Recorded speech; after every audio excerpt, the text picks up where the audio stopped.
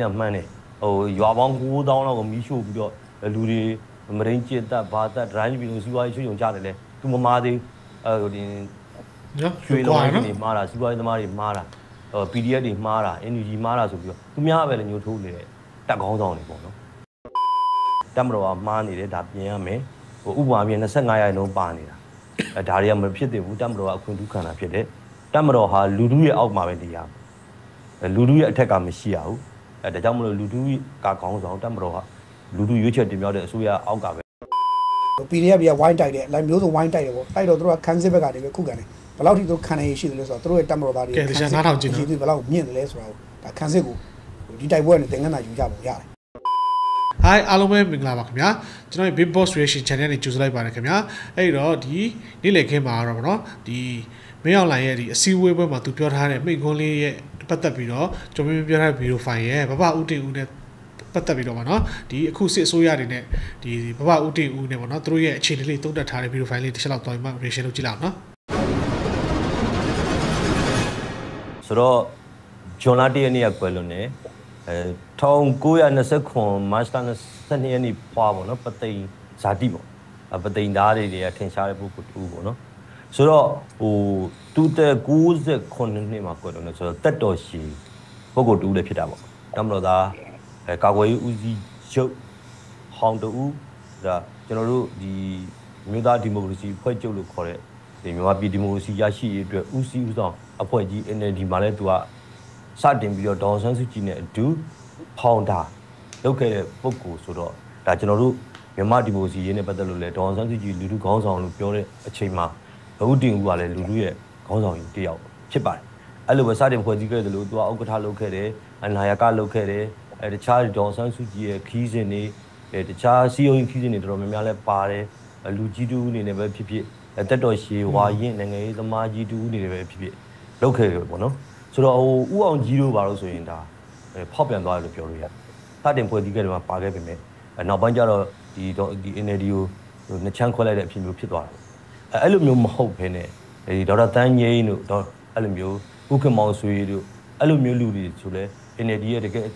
ထင်ကြရပုံကိုယ်လေးဒါမှနဲ့ဖောက်ပြန်သွားကြတယ်အဲစီအိုစုနဲ့ပေါင်းသွားကြတယ်ဒါဥတင်ဦးကတော့အစတဲ့ကောက်ကဟိုတကယ်ဒီမိုကရေစီရေးကိုပါလာတယ်ခြေလင်းလုံးရေးခင်းကြီးကပါလာတယ်ဒီနေ့နောက်ဆုံးကွယ်လွန်ချိန်အထိကိုမမမမရက်တည်သွားတယ်ပုံကိုယ်တူပေါ့နော်ဆိုတော့သမိုင်းကြောင်းပြန်ကြည့်မယ်ဆိုလဲဟိုဖက်စစ်ဒေါ်လာရေးကနေပြီးတော့စပြီးတော့ပေါ့နော်မြန်မာသမိုင်းဝင် ဖက်စစ်ဒေါ်လာရေးကစပြီးတော့ကျွမ်းကျွမ်းနမှန်တိုက်ပွဲဝင်ခဲ့တဲ့ပုံကိုယ်ကြီးပါအာဘူလောင်းကာလာစပြီးတော့ကျွန်တော်တို့မြန်မာပြည်မှာထင်ရှားတဲ့ဘုံမူဘထူပေါ့နော်ဘုံမူကြီးဘထူရဲ့အထက်ပမာကြီးတိုင်းမှာနေပါဝင်ပြီးတော့ဒီစည်ရေးတာဝန်တွေထမ်းဆောင်ခဲ့သလိုဒီတရုတ်ဖြူကျူးကျော်စစ်နဲ့ပတ်သက်ပြီးတော့စောစောတမန်တိုက်ခဲလို့သူရပွဲရရှိခဲ့တာဖြစ်ပါတယ်နောက်ထပ်ပွဲတစ်ခုလည်းရပါသေးတယ်ဆိုတော့စတော့ပြောခဲ့တဲ့ဟာအပိုင်းမှာကြတော့ဦးတင်ဦးကဒီ သူကာဝေးဦးရုပ်ဖြစ်နေလုပ်ခဲ့တဲ့အချိန်တွေမှာဟိုရခိုင်မှာရန်ကုန်မှာပေါ့နော်ဒီလိုမျိုးတချို့အရေးခင်းတွေမှာဆိုရင်နေနေရတာရှိတဲ့အပိုင်းတွေဒီတော်တော်များတော်တော်များများမဟုတ်ပါဘူးတချို့ဝေဖန်တာရတွေ့ရပါတယ်ဒါနဲ့ပတ်သက်လို့လည်းဦးတင်ဦးကကျွန်တော်တို့ DVB နဲ့တွေ့ဆုံမေးမြန်းခန်းတွေမှာရောအဲတခြားမေးမြန်းခန်းတွေမှာသူဒီဒေတာမတော်သားတူအနေနဲ့ဒီအဲ့အချိန်ကတာဝန်ရလုပ်ခဲ့ရတာရှိတယ်အဲဒါနဲ့ပတ်သက်လို့ကမှားယွင်းတဲ့ပိုင်းမှာဆိုရင်သူလည်းဒါကိုဝင်ချတောင်းပန်တယ်ဆိုတာကို သူ့ရဲ့လူထုဟောပြောပွဲတွေသူ့ရဲ့အဲဒီအင်တာဗျူးတွေမှာတော်တော်များများလည်းထည့်ပြီးတော့ပြောပြီးတွေ့ရပါတယ်မဥမာပြပြအခုဆိုရင်မားလာလို့ဆိုရင်သူအာနာသိန်းတာမှားတယ်လို့သူတခါမှမပြောဘူးအာနာသိန်းတာမှန်းတယ်ဟိုရွာပေါင်း9000လောက်ကိုမီးရှို့ပြီးတော့လူတွေမရင်းကျစ်တက်ဘာတက်ဒရိုင်းပြီးလို့စီးပွားရေးချွေုံကြတယ်လေသူမမာသေးဟိုဒီနော်ရွှေသမားတွေမှားတာစီးပွားရေးသမားတွေမှားတာဟို PDF တွေမှားတာ NUG မှားတာဆိုပြီးတော့သူများပဲလေညှို့ထိုးနေတဲ့ တက်ကောင်းဆောင်တွေပေါ့နော်ဒါပေမဲ့ဥတင်ဦးကဒီလိုမဟုတ်ဘူးဒီဥနေဝင်းတို့လိုမျိုးဟိုတည်ဆုံးသွားတဲ့အချိန်မှာဘယ်သူမှမတိလိုက်ဘူးဟာလာဟိုဥနေဝင်းတည်ဆုံးတော့ဆိုလို့ရှိရင်ကွယ်လွန်တော့ဆိုရင်ရုပ်တရက်ဝန်ထမ်းဝန်ထမ်းချပြီးတော့အမြင့်ထဲမှာရိုးပြမျောလိုက်တဲ့အဆင့်ဘယ်လူမသိသူမသိရိုးခံရတာပေါ့နော်အဲအဲ့အဲ့လိုမျိုးမဟုတ်ပဲねဥတင်ဦးရဲ့ဒီနေ့ဂျွန်လာတရက်နေ့ကွယ်လွန်မှုအပိုင်းမှာတော့ဟို ပထမတရက်နေ့ရဲ့တရားသူကွယ်လွန်ပြီဆိုပြီးတရင်မှားထွက်ပြီးတဲ့ဟိုကမဖြစ်ပါစေနဲ့မဖြစ်ပါစေနဲ့မဖြစ်ပါစေနဲ့ဆိုပြီးတော့ဝိုင်းပြီးဆူတောင်းကြဝိုင်းဝန်းပြီးကုသကြစိတ်တဲ့ခေါင်းအားတွေပြရရင်ရတယ်ကာဂျူချင်းတူတင်ကူကဂျွန်လာတရက်နေ့ကွန်လွန်သွားပြီးတော့လည်းအားလုံးဝမ်းနေကြတယ်ငါငါတို့ခေါင်းဆောင်ဆိုတာမျိုးတတိုင်းတစ်ပြည်လုံးပြောနေကြတာပေါ့နော်ဂျွန်လာ9ရက်နေ့ယူဝေးတုတ်တမတဲ့ဂျိုးတော့လဲဟလာဒီဒေါန်ဆန်လူကြီးရဲ့ခြံရှိကိုဖြတ်တဲ့ပုံကြီးနဲ့အာငါဖြတ်သွားပြီဆိုတာမျိုးတွေဝိုင်းရေးကြတာတွေပေါ့နော် ဟိုလူထောင်ချီပြီးတော့လိုက်ပါပို့ဆောင်တာကိုကြီးကြီးအဖြစ်ကွယ်လွန်ချိန်အထိဒီဒူဒူခေါင်းဆောင်ဖြစ်သွားတဲ့ခေါင်းဆောင်တူလို့အဲဒီလိုပဲပြောရမှာဖြစ်ပါတယ်ကျွန်တော်တို့အမှတ်တရအနေနဲ့ကတော့သူ့ရဲ့အင်တာဗျူးတိုင်းမှာကျွန်တော်တို့အင်တာဗျူးတွေတော်တော်လုပ်ဖူးပါတယ်အဲ့လိုလုပ်လုပ်တိုင်းမှာဟိုသူကတက်မတော်ကမှားနေတယ်ဒါပြင်ရမယ်ဟိုဥပမာပြင်25ရာခိုင်နှုန်းပါနေတာအဲဒါတွေကမဖြစ်သေးဘူးတက်မတော်ကအခွင့်အထူးခံတာဖြစ်တယ်တက်မတော်ဟာလူထုရဲ့အောက်မှာပဲနေရမယ်လူထုရဲ့အထက်ကမရှိရဘူး အဲဒါကြောင့်မလို့လူထုကခေါင်းဆောင်တက်မတော်ကလူထုရွေးချယ်တင်မြှောက်တဲ့အစိုးရအောက်ကပဲနေရမယ်ဆိုတာမျိုးပေါ့နော်အဲအဲ့ဒါမျိုးသူအများနဲ့ပြောခဲ့တာတော့ကျွန်တော်တို့တို့မှတ်ရပါနောက်ဆုံးတစ်ချက်ကတော့ဟိုဒေါ်ဆန်းစုကြည်နဲ့စီယိုခီးတဲ့မှာပါပြီးတော့ဟိုလူအုပ်ကြီးနဲ့ဝိုင်းပြီးတိုက်ခိုက်ခံရတိုင်းမှာသူကရှေ့ကကာကွယ်ပြီးတော့နော်ဟိုကျုပ်အောင်ဆန်းရဲ့တမီးကိုငါကာကွယ်ရမယ်ဆိုတာမျိုးအမြဲပြောခဲ့တဲ့ခေါင်းဆောင်ပါဒီဘဲရင်မှာလည်းဥတင်ဦးပါသွားတဲ့အတွက်အဲဒေါ်ဆန်းစုကြည်ဟာဟိုအသက်ဘေးလွတ်မြောက်တာနဲ့တိုက်သက်ဆိုင်လားမသက်ဆိုင်လားတော့မသိဘူးနော် ဒါနဲ့ဥတင်ဦးပါသွားတဲ့အတွက်တော့တစုံတရာလွတ်မြောက်တက်တာသွားတယ်လို့ကျွန်တော်တို့ယူဆရပါတယ်ခင်ဗျကဲဒါကတော့ပပဥတီဦးနဲ့ဒီပေါ့နော်မအလာရဲ့ဂျားတွေကကွာခြားချက်တွေပေါ့နော်အဲ့တော့ကာချုပ်ချင်းတော့တူတယ်ဒါပေမဲ့ဒီမှာဆိုသူရပွဲတော့မရတယ်ပေါ့နော်သူရဥတီဦးဆိုသူသူရပွဲဆိုတာစစ်တိုက်တဲ့နေရာမှာတော်လို့ပေါ့နော်အဲ့တော့ရေးချင်းတွေအများကြီးကွာတဲ့အကြောင်းသူတို့ပြပြထားဖြစ်ပါတယ်နော်ဟုတ်ပြီကျွန်တော်နောက်ထပ်ပေါ့နော်ဒီကျော်မင်းပြောတဲ့ဗီဒီယိုတစ်ချက်လောက်ကြည့်လိုက်အောင်နော်ဟာလေဆိုမိကုန်းပေါ့အဲ့ဒါကိုကျွန်တော်တို့မိကုန်းထုတ်ထားပါတယ် တရားဝင် officially မိကုန်းထုတ်တယ်ပေါ့ဗျာဒီလိုပဲမှတ်ပေါ့နော်ဘာလို့ဆိုတော့ကျွန်တော်မနေ့ကဗိုလ်ချုပ်မှုကြီးရဲ့အဲ9ရက်နေ့ကဗိုလ်ချုပ်မှုကြီးတို့ဗိုလ်ချုပ်မှုကြီးဦးဆောင်တဲ့နိုင်ငံတော်စီမံအုပ်ချုပ်ရေးကောင်စီအစည်းအဝေးအဲ3မြင်းဆောင်2024ပေါ့နော်ဒီ2024ခုနှစ်အတွက်3ချိန်မြောက်အစည်းအဝေးပေါ့3မြင်း2024မှာလည်းဗိုလ်ချုပ်မှုကြီးကအဲရွှေနဲ့ပတ်သက်ပြီးသူပြောသွားတာရှိတယ်ရွှေနဲ့ပတ်သက်ပြောသွားရရှိတော့ကျွန်တော်ကဒီလူလူပြောတာနဲ့ဆက်ဆက်ပြီးတော့ဒါကိုကျွန်တော်ထုတ်ပြောတာပါ။ဘာလို့ရွှေနဲ့ပတ်သက်ပြီးသူပြောတာကတော့ရှင်းပါတယ်။ဟို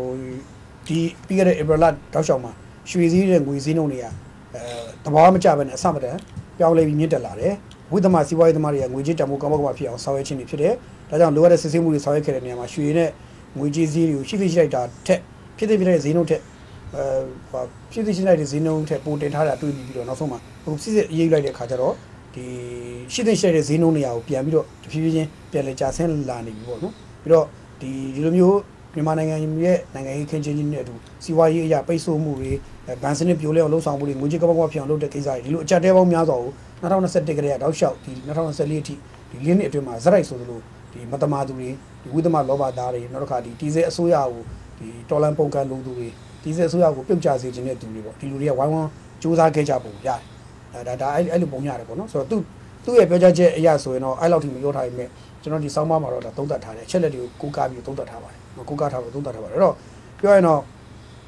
ဒီငွေကြေးတွေကိုကမောက်ကမပြောင်းဈေးကွက်ကိုကစားတယ်ပေါ့ဗျာကစားပြီးတဲ့နောက်တော့နိုင်ငံစီးပွားရေးဟိုကြက်တဲတွေကြုံကြအောင်လှုပ်လှုပ်ပြီးနောက်ဆုံးမှတော့တချို့လူတွေဆိုရင်တရားမဝင်ရရှိတဲ့ငွေတွေနဲ့အင်အားတွေဝယ်တယ်တခြားနိုင်ငံမှာအိမ်မီတွေဝယ်တယ်စသဖြင့်ကစားတယ်ပေါ့ဗျာမြေကစားတယ်ပေါ့ပြီးတော့အခုရွှေတို့ဒေါ်လာတို့ market တွေနောက်တစ်ခါအိမ်ချန်ပီယံ market တွေကဒါ multi level marketing တစ်မျိုးလို့ကျွန်တော်ပြောလို့ရတယ်ကျွန်တော်ကအထီးအကြီးဆုံးပေါ့ဗျာဒါပေမဲ့ကျွန်တော်နာမည်မခံဘူးပေါ့ကျွန်တော်တစ်ပတ်10လောက်မွေးရတယ်တယောက်ကိုရော့သိန်း1000လောက်ယုံကြည်မှုရ ထုတ်ပေးထားတယ်ဒါမှမဟုတ်ဘူးလားအလုပ်လုပ်လို့ရအောင်ယုံကြည်မှုရ contact လုပ်ပေးထားလိုက်ပြီးတော့အဲ့လူ10ယောက်ကဖြန့်ချလိုက်တယ်အဲ့10ယောက်ကနေပြီးတော့တော့ကလက်ပွားလေးတွေကိုထပ်ဖြန့်တယ်အဲ့လိုနဲ့ရွှေစည်းကွက်ငွေစည်းကွက်ကစားပြီးတော့တကယ့်ကိုနောက်ဆုံးမှကျွန်တော်မြောက်ပုံပြင်မြောက်ပုံပြင်လို့ပေါ့နော်မြောက်ပုံပြင်လိုမျိုးဖြစ်အောင်ဖန်တီးတယ်ပေါ့ဗျာဒီလိုမျိုးဖြစ်အောင်လုပ်ကြတာပေါ့အဲ့လိုလုပ်ရင်းနဲ့ဟိုတိုင်းပြည်ရဲ့ရွှေစည်းငွေကြီးစည်းကွက်ကကမောက်ကမာတွေဖြစ်ကုန်တယ်ကျွန်တော်မပြောနဲ့ခင်ဗျာရက်ွက်တွေဈေးတွေမှာဖက်တော့သွားကြည့်ကျွန်တော်ဈေးတွေပါတယ်ခုနအင်တာဗျူးတော့လာပါတယ်နော်သူတို့ညံ့နေဆိုညံ့နေလို့မခံဘူးဟိုလူပြစ်တယ်ဒီလူပြစ်တယ်နော်အဲ့လိုသွားတယ် သွားတဲ့ခါကျရင်ဈေးသမားကကစုံရတဲ့ဈေးကိုတော့သူကရွှေကြီးရွှေကြော်တော့ချိန်ပြောင်းကျင်တာသူကချိန်ရောက်တဲ့ဆောင်မှာရွှေဈေးဒီနေ့ရွှေဈေးတက်နေဒေါ်လာဈေးတက်တယ်အဲ့ဒါနဲ့သူကအာဈေးတွေနဲ့တင်ရောင်းကျင်တယ်လို့လုပ်တယ်ဆိုတော့တကယ်တော့ကျတော့ရွှေနဲ့ဒေါ်လာကကျွန်တော်နေ့စဉ်စားရမယ်စားသုံးကုန်မဟုတ်ဘူးနေ့စဉ်စားရမယ်စားသုံးကုန်ဖြစ်တဲ့စားချင်းတွေထည့်ရမယ်ချင်းစားထည့်ရမယ်ကျက်ကစုံရကျက်ဥဝတာကျက်တာအမေသာစားတဲ့ဖြစ်ပေါ့ဒီအသားဒါတွေကကျွန်တော်နေ့စဉ်စားရမယ်ဟာတယ်နေ့စဉ်စားရမယ်ကုန်စီကမိနစ်ပိုင်းစက္ကန့်ပိုင်းနိုင်ပိုင်းတွေမှာတောက်လျှောက်တစ်ချိန်လုံးတက်နေဆိုတာကဒါကပုံမှန်မဟုတ်ဘူးပေါ့ပုံမဟုတ် ဆိုတော့ပြဿနာကဈေးတယ်တွေကြတော့လေ तू ကဒီနေ့ तू ဝယ်ထားတဲ့ပစ္စည်းကရွှေဈေးကြောင့်ဒီနေ့ तू ရောက်လိုက်တဲ့ကျုပ်တစ်လုံးကကျုပ်တစ်ခက်ကပေါ့နော်ရွှေဈေးကြောင့်နောက်နေ့မှာတစ်ခက်ကို900လောက်တက်သွားရင်နောက်ပြန်ဝယ် तू ကနောက်ထပ်900ထပ်ထည့်ရမယ် तू အရင်ထပ်ထည့်ရမှာအဲ့လိုထပ်ထည့်ပြီးရောင်းအောင်ဆို तू အမြက်ကမြတ်တယ်လို့မခေါ်ဘဲနဲ့လဲထွက်နေတာပေါ့အဲ့လိုဖြစ်နေမှာ तू လည်းစိုးရိမ်တဲ့ခါသူတို့ကလည်းဒီကစားတယ်ကစားရတော့မဟုတ်ပေါ့ ဈေးကိုနည်းနည်းလေးလိုက်ပြီးတော့ဖြစ်တော့ပေါ့အဲ့မှာရှုပ်ရွှေကုန်တော့ဘာမှတော့မဆိုင်ဘူးဒါပေမဲ့ရွှေနဲ့ဒေါ်လာသွားပြီးတော့ပေါင်းတယ်လို့ mix လုပ်လို့ဖြစ်သွား ဆိုတော့ဒါကြောင့်ရွှေဒေါ်လာကလည်းမြန်မာပြည်ရဲ့ market ထဲမှာတော့တော်ကိုရိုက်ခတ်မှုကြီးပါတယ်မြန်မာပြည် market ထဲမှာရွှေဒေါ်လာတော့ရိုက်ခတ်မှုကြီးတယ်ဒါကြောင့်ဘုံကြီးရတာရွှေဒေါ်လာနဲ့ပတ်သက်လို့သူဒီထဲမှာထည့်ပြောသွားတာလို့ပြောလို့ရတယ်ပေါ့နော်ဆိုတော့ဒါဒီနိုင်ငံကိုစီးပွားရေးကြာဆင်းစေဖို့အတွက်ရည်ရွယ်ပြီးတော့အဖက်ဘက်ကနေဝိုင်းဝန်းတိုက်ခိုက်ကြတာဖြစ်တယ်ဆိုပြီးတော့ဟိုငွေစည်းညံ့ညံ့တယ်ဝန်ခံတာမဟုတ်ဘူးနော်သူ့ရဲ့ဒီမိန်ကုန်းမှာသူထည့်ပြောတယ်သူ့ရဲ့ဒီ9ရက်နေမိန်ကုန်းထဲမှာပြောတဲ့အထဲမှာတော့ရှားပါတွေပါလဲဆိုတော့ကျတို့လွယ်လွယ်နားလည်အောင်ပြောရရင်တော့ဟိုတမတော်ရဲ့တမတော်ရဲ့တပ်စခန်းတွေကို တိုင်းတဲ့လက်နက်ကင် EU လက်နက်ကင် EU အဖွဲ့တွေကတိုက်တယ်ဟို PDF တွေကဝိုင်းတိုက်တယ်အလိုက်မျိုးစုံဝိုင်းတိုက်တယ်ပေါ့တိုက်တော့သူတို့ကခန်းစစ်ဘက်ကနေပဲခုခံတယ်ဘယ်လောက်ထိသူခံနေရှိတယ်လဲဆိုတော့သူတို့ရဲ့တမတော်သားတွေကဲဒီချာနားထောင်ကြည့်နော်ဒီဘယ်လောက်မြင့်တယ်လဲဆိုတာကိုဒါခန်းစစ်ကိုဒီတိုက်ပွဲနဲ့တင်ငန်းသာယူကြပုံရတယ်ယူထားပုံရတယ်ဒီဒီတိုက်ပွဲနဲ့သူခန်းစစ်ကမဟာဗျူဟာကိုတင်ငန်းသာထပ်ယူပုံရတယ်ခက်တဲ့နီးပညာစနစ်နီးပညာခေတ်ကြီးမှာသူတိုက်စစ်ကခန်းစစ်ကပုံစံတစ်မျိုးရှိတယ်တိုက်စစ်ကတိုက်တဲ့သူကကျတော့တစ်ဖက်လူရဲ့အားနဲ့ကိုရှာပြီးတော့တိုက်လို့ရတဲ့အတွက် တိုက်တဲ့ဟာကတိတ်ပြီးတော့ဒါနီးဗျူဟာမမြောက်ဘူးပေါ့နော်ခန်းစစ်ကဒါဒါဗျူဟာလို့ခေါ်တယ်ဘာလို့လဲဆိုတော့ခန်းစစ်ဆိုတာဘာလို့လဲဆိုတော့တစ်ဖက်ကဘယ်ပုံစံတိုက်လာမှမသိတာဘူးဘယ်လောက်ထိစိတ်တဲ့ကြက်ခိုင်ဆိုတာရှိတယ်ဆိုတော့ပြတာရကြတယ်အဲကြောင့်တက်မကဲနော်သူတို့ခံခံစင်းနဲ့တိုက်နေတာသူက viewer မြောက်တယ်ပေါ့နော်သူတို့ဆရာကြီးတွေပေါ့တိုက်စစ်တယ်တိုက်စစ်တဲ့စင်တဲ့လူတွေဆရာကြီးတွေမဟုတ်ပါတော့အဲ့လိုပုံစံပရော်သားတွေဒီရဲတပ်ဖွဲ့ဝင်တွေတမတော်သားမိသားစုတွေရဲမိသားစုဝင်တွေအစိုးရဝင်ဂျင်းတဲ့တော့ဒါတော့အားနဲ့အဲနဲ့တိုက်နေတဲ့ကြားထဲမှာစိတ်ဓာတ်မပြိုလဲပဲတောက်ခံနေတယ်ဆိုတာသူတို့စိတ်ဓာတ်ပြတာ ရရောက်တယ်